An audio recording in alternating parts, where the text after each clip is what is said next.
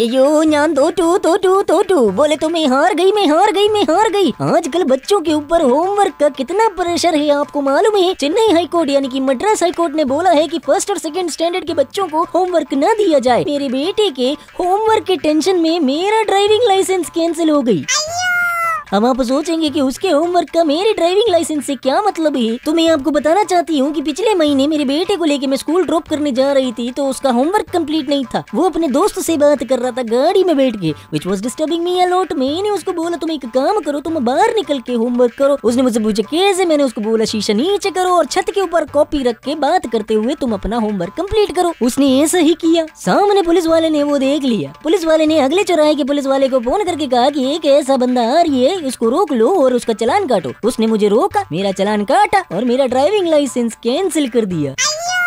Government ने कहा India का जीडीपी राइज हो रहा है इस साल। बिल्कुल सही बात ही जीडीपी बोले तो गैस डीजल और पेट्रोल के दाम बढ़ रही है। इस तरीके से इंडिया का जीडीपी बढ़ रही है। इसकी बातों में सोई है चुप जाती है। अयो अंकल मेरी बात है इसलिए चुभती है क्योंकि मेरी बातों में पॉइंट है। आइयो रेडियो सिटी का आइयो